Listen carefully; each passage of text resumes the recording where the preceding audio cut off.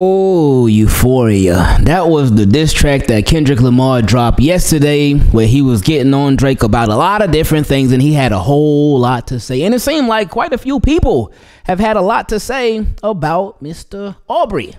Like we heard from Kendrick Lamar, of course. Uh, we heard from Future. Uh, we also heard from Rick Ross multiple times. But it seems like it's Drake versus the world.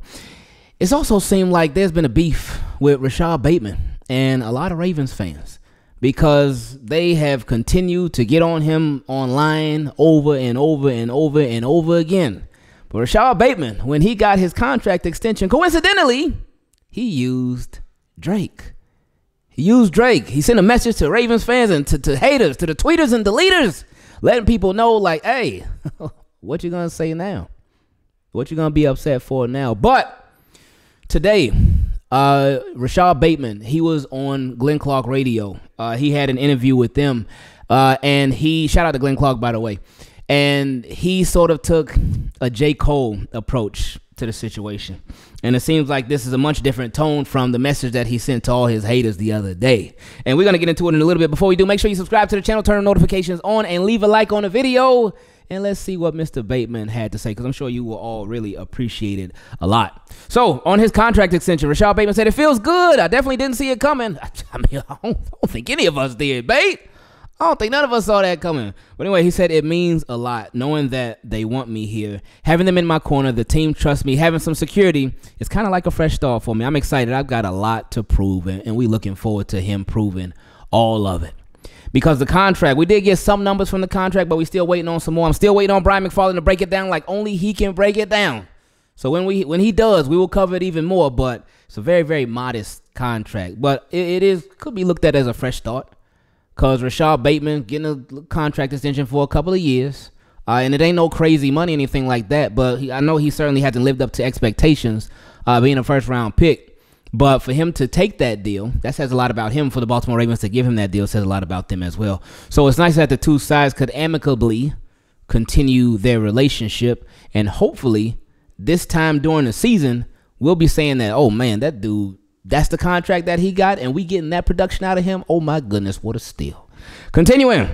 Um, he also talked about what he has to prove. He said, I want to prove to myself that I can be a star. Uh, be a player. Be someone the team can depend on. Reliable. There's been ups and downs in my career. I'm in a good spot right now. I feel good. I'm healthy. Should be a good year. And you know what? That's been the thing with Rashod Bateman. And we're gonna get into that a little bit. He actually got into that a little bit, uh, and we'll talk about it shortly. But um, health that's been the thing. That has been a thing. He just hasn't been healthy, and then especially in the off season, the timing has just been all kinds of messed up. But let's just continue uh, because he spoke on that himself. Um, he said this was about on if he doubted his future in Baltimore, which a lot of us did, especially myself. I really thought Rashod Bateman was out of there for sure, but he said for sure, meaning he did doubt his future with the Ravens.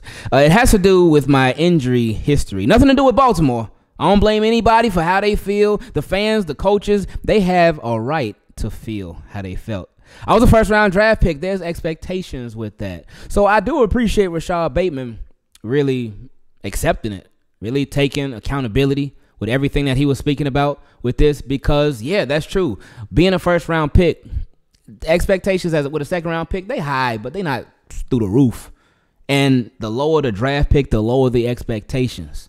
But Rashod Bateman was dra- drafted in the highest round that you could possibly get drafted at, the first.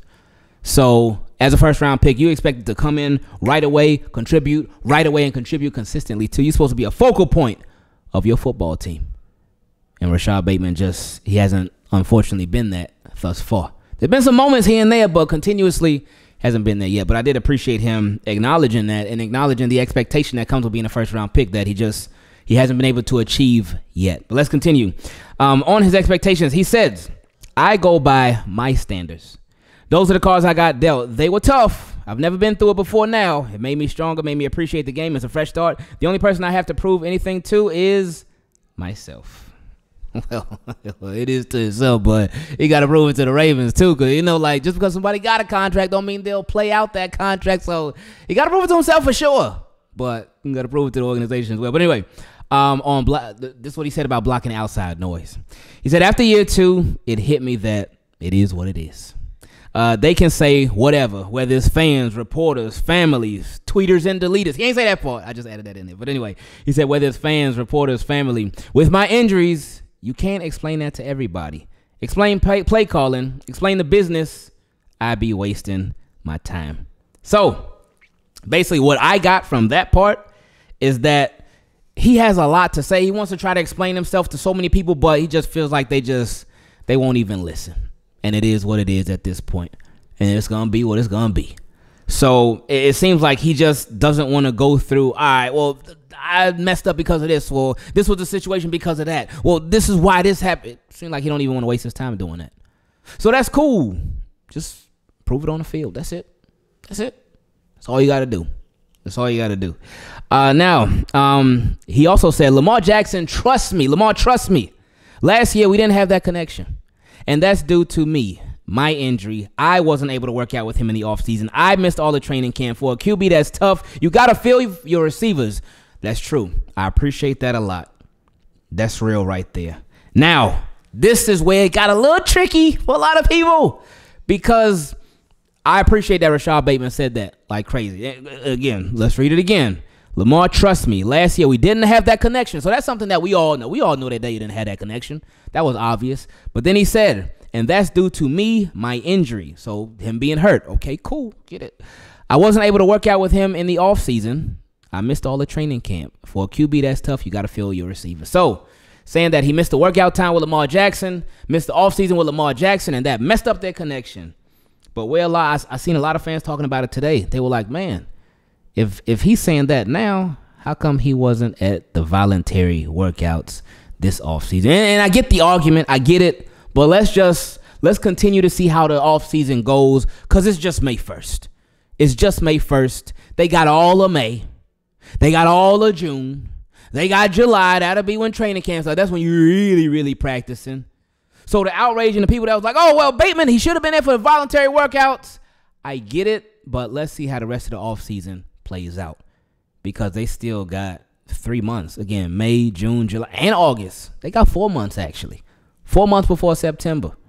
So I ain't tripping out about the whole voluntary workouts thing. I was never tripping out about it. But I, I can see how people would say the things that they said. But I, I ain't tripping about that. Let, again, let's see how the rest of the offseason plays out. He also said Tom Brady, he didn't do it by himself.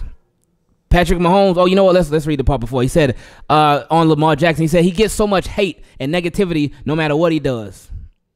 True. We ain't even got to explain that. He said he's a two-time MVP, and people are still talking about talking stuff about how he still hasn't done this or that. It takes 11 people to win the game. Tom Brady didn't do it by himself. Patrick Mahomes didn't do it by himself. They're phenomenal. But if you're telling me those people did it by themselves, then good luck, Charlie.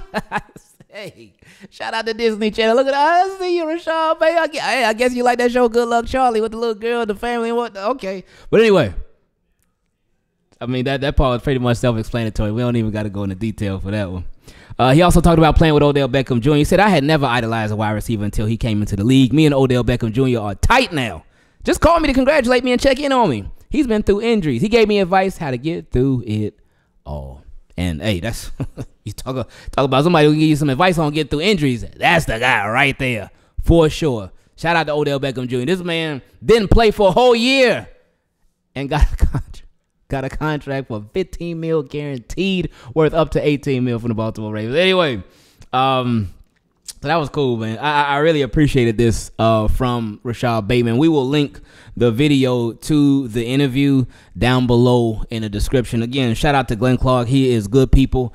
Uh, we were able to go on there one. No? We've actually been on there twice. We've been on his show twice. Um, and he's super, super nice.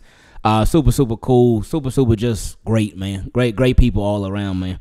Um, but I, am glad, and, and he interviews a lot of the Baltimore Ravens. He just interviewed uh, T.J. Tampa today too, so he he he busy. He busy. Glenn Clark, like he, I know him and Rita. They used to have a show with Tyus Bowser and stuff like they.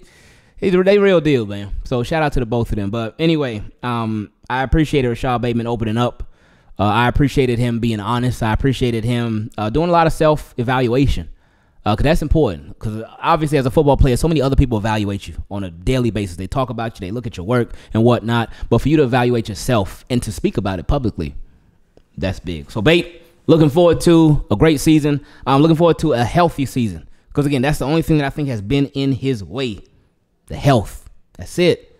The talent is there, and now it's just a matter of time. Team, keep it clean.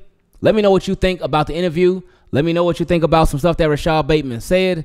Uh, and what are you looking forward to when it comes to Rashod Bateman this season? What, what's some of the biggest things that you're looking forward to when it comes to number, number seven for the Baltimore Ravens? Make sure you subscribe to the channel, turn your notifications on so you do not miss any single video, any single update, and leave a like on the video because it helps out the channel a lot. And it also helps YouTube continue to recommend the videos to you when they go public. Shout out to all the Team Keep It Clean patrons. Shout out to all the Team Keep It Clean channel members. I love all y'all and I appreciate all y'all support on a daily. We out.